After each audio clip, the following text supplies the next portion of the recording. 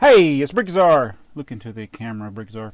And we're going to look at another vintage Lego set. This is from 1970, so it's really old. It's 45 years old. It is obviously an ambulance. Well, I say obviously. That's what it is. But it is one of the large vehicle sets. This was um, under the Legoland kind of sub theme and they list some people list this under hospital but to me this goes under large vehicle set. Um, so anyway we're going to look at it. It has no stickers which is pretty cool. And this is what the instructions look like. Um, basically it's for everybody except for the little bitty kid. That's what the little uh, age things are adult and on down. So if it's whited out that means you can't use it.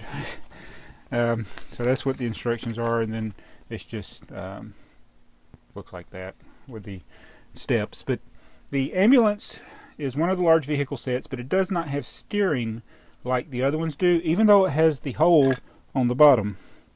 Uh, they, they, cover up the hole in the build, and there's no mechanism to turn it. Uh, there's and besides the holes there and the wheels here. So uh, this one does not have that, but it's a pretty cool little set anyway. Now I'll show you the front. It's got the gray and trans clear plates there to make the grill. Uses white one by one windows to make the headlights. And then the doors do open just like all the other large vehicle sets. These are a little taller. And then it's got the red piece going all the way across. Uh, I guess that's supposed to be the seat. And then you got doors in the back. My doors are a little scratched up as you can tell.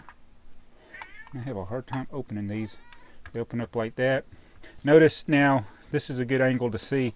These doors have the, the plus on the glass and here it's on the lower part of the door. So you got four different doors. You got left and right with the plus on the bottom and left and right with the plus on the top. And notice this. Now this is not a sticker. These are actually printed bricks. uh, one has the T on the top and one has it upside down T on the bottom. So when you put them together, it looks like the plus sign. And then this is something different than from all the other ones. You can see the little bench in there. You actually get a stretcher. I never knew this had the set because the only pictures I've seen are this.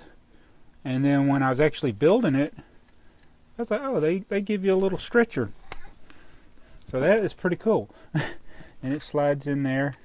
Uh, obviously this is before the minifigure, but this is really more minifigure scale than some of the other sets that came out uh, when the fig minifigures first started coming out because you know it looks like a minifigure could fit in this. It's six wide and everything. So anyway that is the ambulance.